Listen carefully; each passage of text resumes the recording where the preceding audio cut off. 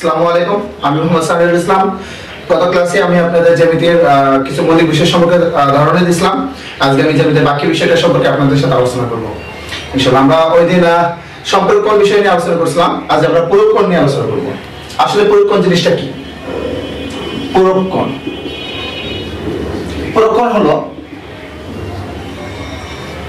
দুইটি কোণের সমষ্টি যদি নব্বই ডিগ্রি হয়, তখন আমরা ওই কোণটির একটিকে অপরটির পুরোক্ষণ বলে থাকি। তাহলে আমরা কি বুঝলাম? যে দুইটি সরি দুটি কোণের সমষ্টি, দুটি কোণের সমষ্টি যদি নব্বই ডিগ্রি হয়, তখন তাদের একটিকে অপরটির পূরক কোণ বলে। তার আমরা বুঝতে পারলাম যে দুটি সমষ্টি যদি নব্বই ডিগ্রি হয় দুটি সমষ্টি নব্বই ডিগ্রি হবে, তখন তাদের একটি অপরটি কি বলা হবে? বলা হবে। যেমন আমি এখানে একটা চিত্র দিয়ে বোঝানোর চেষ্টা করি। যেমন আমি এখানে একটা রাখলাম এ ও বি এর হলো সরলরেখার উপর এই সরলরেখা কি হয়েছে এখানে? লম্বকিত হয়েছে। তা যদি এখানে লম্বকিত হয়, তাহলে এই কোণটা কত ডিগ্রি? 90 ডিগ্রি কোণ। এখন আমি মাঝখান দিয়ে এটা ডিভাইড করলাম। দিয়ে বললাম, এটা যদি 30 ডিগ্রি কোণ হয়, তাহলে এটা 30 ডিগ্রি কোণ হলে এটা কত ডিগ্রি কোণ? তখন আমাদের দেখতে হবে যে এই দুটো সমষ্টি তো 90 ডিগ্রি তাহলে এটা যদি 30 ডিগ্রি হয়, তাহলে এই কোণটা হবে 90 degree minus 30 degree equals to 60 degree that means এই কোণটা হবে তোমার 60 ডিগ্রি তাহলে আমরা দেখতে পাচ্ছি যে 30 ডিগ্রি এবং 60 ডিগ্রি এই দুটো কোণের সমষ্টি 90 ডিগ্রি হচ্ছে। অর্থাৎ আমরা এখানে লিখতে পারি, অর্থাৎ 30 degree plus 60 degree equals to 90 degree অর্থাৎ দুটো কোণের সমষ্টি আমরা দেখতে পাচ্ছি যে 90 ডিগ্রি হচ্ছে, তাহলে 30 ডিগ্রি 60 ডিগ্রি পুরো কোণ বা 60 ডিগ্রি 30 ডিগ্রি পুরো কোণ। এখন আমরা যে বিষয়টা নিয়ে আলোচনা করব, সেটা হলো প্রবৃদ্ধ কোণ। প্রবৃদ্ধ কোণটা কি?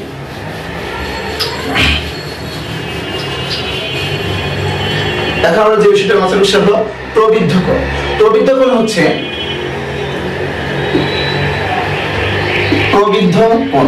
অর্থাৎ কোণের মধ্যে সবচেয়ে বড় কোণ। এটাকে আমরা খুব হাস্যভাবে এটা বলতে পারি যে মুরব্বী কোণ। এই মুরব্বী কোণগুলোকে আমরা সাধারণত প্রবৃদ্ধ কোণ হিসেবে আখ্যা দিয়ে থাকব। ঠিক আছে? কেন?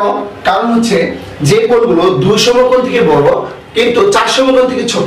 দুই সমকোণ থেকে বড় চার সমকোণ থেকে ছোট এমন কোণগুলোকে বলা হবে প্রবৃদ্ধ কোণ। ঠিক আছে? প্রবৃদ্ধ মানে মুরব্বী কোণ আর কি। আমরা এটাকে হাস্যভাবে বলতে পারি। যেমন এখানে আমরা এই রেখা নিলাম আহ, এইভাবে একটা একটা রেখা, এ বি মানে এটা সরলরেখা যদি কেউ টান দিই, তাহলে হলো দুই সমকোণ। দ্যাট মিন্স এটা হলো কত? একশো আশি ডিগ্রি। তার আমি কিন্তু এটা না, এতদূর আমি এতদূর পর্যন্ত নিয়েছি। তার মানে দুই সমকোণ থেকে বড়? আর এটা কি নিয়েছিলাম? এটা হলো চার সমকোণ।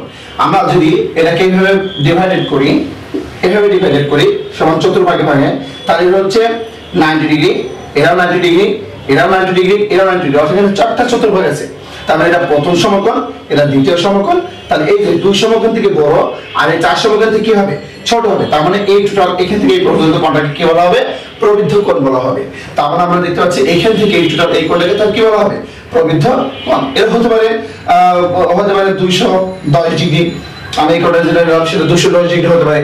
মানে দুশো থেকে বড় হবে, অর্থাৎ একশো আশি ডিগ্রি থেকে বড় হবে আর তিনশো ষাট ডিগ্রি থেকে ছোট হবে। এমন কোণগুলোকে আমরা বলব প্রবৃদ্ধ কোণ। আচ্ছা এই হলো আমাদের কোণ বিষয়? আরও কিছুগুলো কোণ আছে? যেমন, একান্তর কোণ এবং অনুরূপ কোণ। একান্তর এবং অনুরূপ কোণ বলতে বুঝে, বুঝতে হলে প্রথম আমাদেরকে বুঝতে হবে ছেদক কি। ছেদক কি? ছেদক জিনিসটা হচ্ছে, আমরা যদি সরলরেখা কল্পনা করি, এই একটা সরলরেখা, এই সরলরেখার কল্পনা করলাম হলো এবি আরেকটা সরলরেখা কল্পনা করি, এটা হলো সি এরকম দুটো আমরা সরলরেখা কল্পনা করলাম। এই দুটো সরলরেখার উপর আর একটা সরলরেখা নিলাম যেটা ই এবং এফ সরলরেখাটি এ, বি এবং সিডি কে যথাক্রমে পি এবং কিউ এই দুটো বিন্দুতে সেট করছে। তাহলে এখানে ই, এফ সরলরেখাটি হলো এ, বি এবং সিডি সরলরেখা দ্বয়ে ছেদক তাহলে যখন এই ই, এফ সরলরেখাটি এ, বি এবং সিডি সরলরেখাকে ছেদ করতেছে, তখন এখানে কোণ উৎপন্ন হচ্ছে। কীরকম? যেমন আমরা বলি এ, পি, কিউ, এই কোণটা। তাহলে এই কোণটা বিপরীত দিকে মানে এই একই সরলরেখার বিপরীত দিকে যে কোণগুলো উৎপন্ন হবে, সেগুলোকে একান্ত কোণ বলা হবে। যেমন এ একটা কোণ, এ কোণের একান্ত কোণ হলো এইটা। তাহলে এইটার একান্তর কোণ কোনটা? এইটা। তাহলে একই সরলরেখার দুই পাশে যদি দুইটা কোণ উৎপন্ন করে, তখন উৎপন্ন ওই কোণ দ্বয়কে এইটি অপরটির একান্তর কোণ বলা হবে। এখন আসি অনুরূপ কোণ। অনুরূপ কোণ জিনিসটা কি? তাহলে আমরা একান্তর একান্তর কোণ জিনিসটা আমরা একটু সংজ্ঞা লিখে ফেলি। একান্তর কোণ হচ্ছে যে একই সরলরেখা একই সরলরেখা উভয় পাশে দুটি কোণ উৎপন্ন করলে, দুটি কোণ উৎপন্ন করলে তাদের একটিকে অপরটির একান্ত কোণ বলে। একান্ত কোণ বলে। এখন আসি অনুরূপ কোণ। অনুরূপ কোণ কি? একটি সরলরেখার একই পাশে যদি কোণ উৎপন্ন হয়, একই পাশে কোণ উৎপন্ন হলে উৎপন্ন সেই কোণগুলোকে তার অনুরূপ কোণ বলা হবে। যেমন এখানে একটা সরলরেখা এই যে সেট করছে, এই সেটের বিন্দু, এইটা আর এই কোণটা। দ্যাট ইজ দেখেন, একই সরলরেখার একই পাশে যে দুটো কোণ উৎপন্ন হচ্ছে, এই কোণটা এবং এই কোণটা। তা আমরা আমরা এ পি ই এবং সি কিউ পি এই দুটো কোণকে তার কি বলব? অনুরূপ কোণ বলতে পারি। কারণ এরা একই সরলরেখার একই পাশে দুটা কোণ উৎপন্ন করেছে। একটা কথা বলে রাখি ভিউয়ার্স আপনার হচ্ছে পরস্পর কি হবে? সমান হবে। তেমনি অনুরূপ কোণগুলো পরস্পর কি হবে? সমান হবে। তাহলে আমরা একান্তর হিসাবে এইটাকে এবং এটাকে চিহ্নিত করলাম। এই কোণটা এই কোণটা চিহ্নিত করলাম আর অনুরূপ কোণ হিসাবে এটাকে চিহ্নিত করলাম। তাহলে আমরা এটা লিখতে পারি যে অতএব এ পি কিউ সমান সমান একান্তর এটা লিখতে পারি পি কিউ কোণ সেম। এইভাবে অনুরূপ করে নিতে পারি, A P equal, A P equal equals to, আমরা এটা লিখতে পারি সি কিউ পি কোণ এটা আমরা লিখব অনুরূপ অনুরূপ বলে লিখব সি কিউ পি। তার মানে লিখতে যে একান্তর এবং অনুরূপ কোণগুলো পরস্পর কি হবে? সমান হয়ে থাকবে। এটা হলো আমাদের একান্তর এবং অনুরূপ কোণ এবং ছেদক দিয়ে যে আমি যে বিষয়টা দেখলাম, সেটা আমরা এখন ক্লিয়ার এখন আমি যে বিষয়টি নিয়ে আলোচনা করব, সেটা হচ্ছে ত্রিভুজ। আমাদের জ্যামিতি পাঠটা শেষ। জ্যামিতি নিয়ে আমরা আলোচনা করা কমপ্লিট হয়ে গেছে। এখন আমরা ত্রিভুজ বিষয়টি নিয়ে আলোচনা করব। ত্রিভুজ জিনিসটা কি? ত্রিভুজ কি? ত্রিভুজটা হলো ত্রিভুজ। ত্রিভুজ হলো তিনটি রেখাংশ দ্বারা আবদ্ধ ক্ষেত্রকে ত্রিভুজ বলা হবে। তিনটা রেখাংশ থাকবে। যেমন এ একটা রেখাংশ, এ একটা রেখাংশ, এ একটা রেখাংশ। এরকম তিনটা রেখাংশ এ, বি, সি। এই তিনটা বিন্দুতে সেট করেছে। সো আমরা বলতে পারি এ, বি, সি এখানে একটা ত্রিভুজ। তিনটে রেখাংশ দ্বারা আবদ্ধ যে কোনো ক্ষেত্রকে তার একটা কি বলা হবে? ত্রিভুজ বলা হবে। তাহলে এখানে এ, বি, সি একটি ত্রিভুজ। এখন এই ত্রিভুজকে বাহু ভেদে কোন ভেদে আমরা বিভিন্ন ভাগে ভাগ করতে পারি। যেমন, বাহু ভেদে আমরা ত্রিভুজকে তিনটা ভাগে ভাগ করতে পারি। বাহু ভেদে বাহু ভেদে ত্রিভুজ তিন প্রকার। যথা এক নম্বর হলো সমবাহু ত্রিভুজ। দুই নম্বর হলো সমদ্বিবাহু ত্রিভুজ। সমদ্বিবাহু ত্রিভুজ। তিন নম্বর হলো বিষমবাহু ত্রিভুজ। বিষমবাহু ত্রিভুজ। এখন আমরা আসি সমবাহু ত্রিভুজ কাকে বলে? সম শব্দের অর্থ আসে। সম মানে সমান বাহু। সমবাহু মানে কি? সমান বাহু। অর্থাৎ যে ত্রিভুজের তিনটা বাহু সমান হবে, সেই ত্রিভুজকে আমরা কি বলব? সমবাহু ত্রিভুজ বলব। যেমন আমরা মাপ নিলাম, এরকম একটা মাপ নিলাম, এরকমই নিলাম এরকম নিলাম এটা যদি পাঁচ সেন্টিমিটার হয়, এটাও হবে পাঁচ সেন্টিমিটার, এটাও হবে কি? পাঁচ সেন্টিমিটার। অর্থাৎ এই বাহু তিনটা পরস্পর কি হবে? সমান হবে।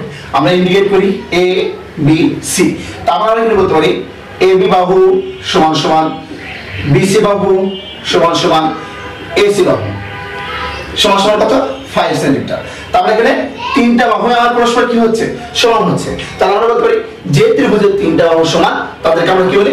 সমবাহু ত্রিভুজ বলি। আচ্ছা এরপর আসি আমরা। সমদ্বিবাহু সম শব্দের হচ্ছে সমান, দ্বি মানে দুই বাহু। মানে সমান দুই বাহু। আমার কিন্তু এখানে সংজ্ঞাটা দিয়ে আছে। আমাকে আলাদাভাবে মুখস্থ করার কোনো প্রয়োজন নেই। আসলে যে যে জিনিস মুখস্থ না আমাদের বেশি করে বুঝতে হবে। আর তাহলে আমরা কি বলতেছি? সম মানে সমান বি মানে দুই, আর বাহু মানে সমান দুই বাহু। তার মানে এখানে আসতেছে, যে ত্রিভুজের দুইটা বাহু সমান, তাকে আমরা সমদ্বিবাহু ত্রিভুজ বলব। এই ত্রিভুজটার চিত্রটি কেমন হবে? এই চিত্রটি হবে এরকমের যে এটা একটা রেখাংশ নিলাম, এটা রেখাংশ নিলাম। নাম দিলাম এ বি সি এই বাহুটা যদি ফোর সেন্টিমিটার হয় এটা কত হবে? ফোর সেন্টিমিটার এটার নাম হচ্ছে সেভেন সেন্টিমিটার এটার নাম দিলাম। তাহলে আমরা দেখতে পাচ্ছি যে এখানে এই ত্রিভুজের এই এ বি আর এসি বাহু কি? পরস্পর সমান। এসি সমান নয়। তার মানে দেখতে পাচ্ছি এই ত্রিভুজের দুইটি সমান। মানে এটা কি ত্রিভুজ? ত্রিভুজ। তাহলে এখানে আমরা এটা পারি যে এ বি সমান সমান তার মানে কি হচ্ছে? যে এ বি আর সমান আর সমান নয়। তার মানে ত্রিভুজ হচ্ছে সমান হবে, তাকে আমরা বলব সমদ্বিবাহু ত্রিভুজ। এখন আমি আসি বি সমবাহু বি সম মানে একটা বাহু সমান না। বি সম মিনিংসটা হলো একটা বাহু এখানে কি? সমান আসবে না। তা যে ত্রিভুজের একটি বাহু সমান না, সেই ত্রিভুজকে আমরা কি বলব? বিষমবাহু ত্রিভুজ বলব। বিষমবাহু ত্রিভুজের আমি এটা চিত্র আঁট করি, তাহলে দেখেন আপনাদের বুঝতে আরও সুবিধা হবে। এই একটা নিলাম এই একটা নিলাম এই একটা নিলাম। তার মানে হলো কি? নাম দিলাম ডি ই এফ এখানে হচ্ছে আমার। ডি বাহু এস বাহু থেকে এ বাহু থেকে ছোট আবার জে বাহু, এ ডি বা এই বাহু থেকে প্রশ্ন থেকে ছোট তার মানে এখানে তিনটা বাহু, তিন রকমের। একটা সাথে আরেকটা বাহুর কোনো মিল নাই। এটা যদি চার সেন্টিমিটার ধরি, এটা আমি নিলাম পাঁচ সরি এটা সাত সেন্টিমিটার, এটা আমি নিলাম ছয় সেন্টিমিটার। আমার ডি ই এফ এবং ডি এফ যে তিনটা বাহু ধরছি, একটা এখানে কি? সমান হচ্ছে না। তো আমরা এখানে লিখতে পারি যে ডি বাহু নট ইকুয়াল এ বাহু নট ইকুয়াল ডি এফ বাহু। অর্থাৎ এখানে আমার তিনটা বাহু সমান হচ্ছে না। তো আমরা এখানে বুঝতে পারছি যে যে আমরা বাহু বেঁধে ত্রিভুজকে তিনটা ভাগে ভাগ করলাম। এক নম্বর ছিল সমবাহু ত্রিভুজ, যার তিনটা বাহু সমান। দুই নম্বর ছিল সমদ্বিবাহু ত্রিভুজ। যে ত্রিভুজের দুইটা বাহু সমান, আর তিন নম্বর ছিল বিষমবাহু ত্রিভুজ মানে এর একটা বাহু সমান হবে না। এটা হলো আমাদের বিষমবাহু ত্রিভুজ। আমরা তাহলে বাহু বেঁধে ত্রিভুজকে তিন ভাগে ভাগ করে ফেললাম। এখন আমরা যে বিষয়টা আলোচনা করব, সেটা হলো কোণ বেঁধে ত্রিভুজ করব। এখন কোণ বেঁধে আমরা ত্রিভুজকে তিন ভাগে ভাগ করেছি?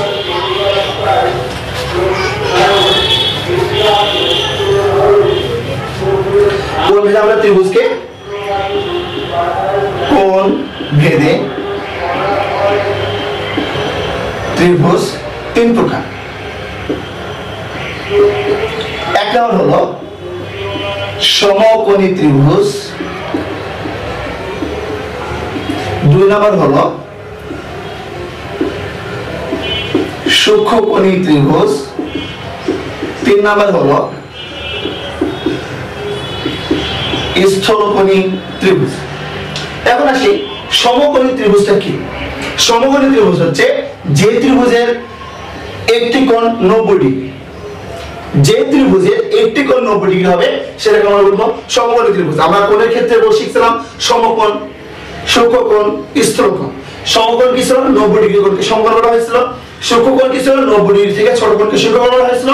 স্থলকোণ করেছিল নব্বই ডিগ্রি থেকে বড় কোণগুলোকে স্থলকোণ বলা হয়েছিল। এখন ওই সকল কোণগুলো যদি একটা তিনটা রেখাংশের আবদ্ধ থাকে এবং তাদের মধ্যে অবস্থান করে, তাহলে তখন আমরা সেগুলোকে কোণী ত্রিভুজ হিসেবে আখ্যায়িত করতে পারব। যেমন আমি বলতে পারি যে, এই দেখেন এ বি সি এই ত্রিভুজের ক্ষেত্রে এবিসি ত্রিভুজের ক্ষেত্রে বিসি বাহুর উপর এবি লম্বভাবে অঙ্কিত হয়েছে। তারপরে এখানে কত ডিগ্রি কোণ উৎপন্ন হচ্ছে এটা? 90 ডিগ্রি কোণ উৎপন্ন হচ্ছে। তাহলে যে ত্রিভুজের একটি কোণ 90 ডিগ্রি হচ্ছে, তাহলে ওই কোণটাকে আমরা কি বলব? সমকোণ বলব। তাহলে এই ত্রিভুজের মধ্যে যদি একটি কোণ সমকোণ হয়, তার মানে এই টোটাল ত্রিভুজটা তাহলে এটা কি হবে? সমকোণী ত্রিভুজ হয়ে যাবে। তাহলে আমরা বলতে পারি অতএব ত্রিভুজ এ বি সি একটি সমকোণী ত্রিভুজ। একটি কি ত্রিভুজ? সমকোণী ত্রিভুজ হিসেবে বলা যেতে পারে। আচ্ছা এরপর আসি তাহলে সমকোণী ত্রিভুজটা আমরা কি বুঝলাম? সমকোণী ত্রিভুজটা হচ্ছে যে ত্রিভুজের একটি কোণ নব্বই ডিগ্রি, তাকে আমরা সমকোণী ত্রিভুজ বলি। এখন আমরা দেখব সূক্ষ্মকোণ আগে সূক্ষ্মকোণের ত্রিভুজ বোঝার আগে আমাদের ওই যে সূক্ষ্মকোণ যে শিখেছিলাম সেটা দিকে খেয়াল করতে হবে একটু। সূক্ষ্মকোণে কি বলছিলাম? নব্বই ডিগ্রি অপেক্ষা ছোট কোণগুলোকে সূক্ষ্মকোণ বলছিলাম। তাহলে এমন একটা ত্রিভুজ আছে, যে ত্রিভুজের প্রত্যেকটা কোণ সূক্ষ্মকোণ, অর্থাৎ প্রত্যেকটা কোণ যদি নব্বই ডিগ্রি থেকে ছোট হয়, তাহলে ওই ত্রিভুজটাকে আমরা কি বলব? সূক্ষ্মকোণী ত্রিভুজ বলব। যেমন আমরা একটা উদাহরণ দিতে পারি। যেমন একটা ত্রিভুজ লিখলাম। এই ত্রিভুজের নাম দিলাম এ বি সি এটা ত্রিভুজ দিলাম। এখানে প্রত্যেকটা কোণ হলো কত ডিগ্রি? এটা মনে করো ধরলাম আমরা হচ্ছে সিক্সটি ডিগ্রি এটা ধরলাম হচ্ছে এটা ধরলাম হচ্ছে পঁয়তাল্লিশ ডিগ্রি দ্যাট মিনস পঁয়তাল্লিশ হলে এটা কত হয়?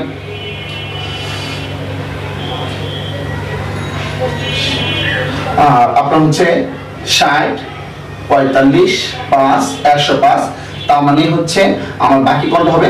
পঁচাত্তর ডিগ্রি তার মানে হচ্ছে এই ত্রিভুজের তিনটা কোণ হচ্ছে কি আমার নব্বই ডিগ্রি থেকে ছোট আসতেছে। তাহলে যে ত্রিভুজের তিনটা কোণ নব্বই ডিগ্রি থেকে ছোট আসবে, তাহলে সেই কোণটাকে আমরা কি বলব? সূক্ষ্ম ত্রিভুজ বলব। এখানে আরেকটা জিনিস বলে রাখি, সেটা যে ত্রিভুজই হোক না কেন, ত্রিভুজের তিন কোণের সমষ্টি একশো আশি ডিগ্রি হবে।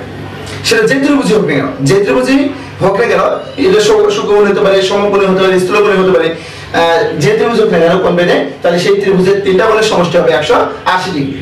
এখন আমরা আসি স্থূলকোণী ত্রিভুজ। স্থূলকোণী ত্রিভুজটা কি? স্থূলকোণী ত্রিভুজটা হলো যে ত্রিভুজের একটি কোণ স্থূলকোণ। অর্থাৎ যে ত্রিভুজের একটি কোণ নব্বই ডিগ্রি অপেক্ষা বড় হবে মানে স্থূলকোণ হবে, সেটাকে আমরা তার কি বলব? স্থূলকোণী ত্রিভুজ বলব। যেমন আমরা এখানে হিসাব করতে পারি, স্থূলকোণী ত্রিভুজ স্থূলকোণী ত্রিভুজ হচ্ছে,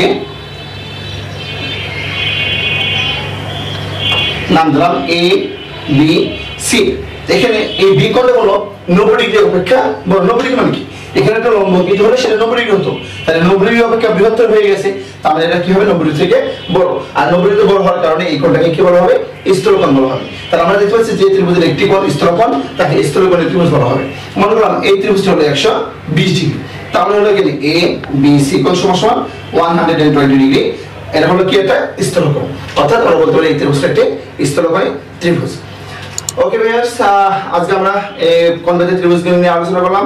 নেক্সট ক্লাসে ইনশাআল্লাহ আমরা চতুর্ভুজ এবং বৃত্ত সম্পর্কতে নিয়ে যত থিওরি আছে, যত বেসিক ধারণা আছে, সেগুলো নিয়ে আলোচনা করব।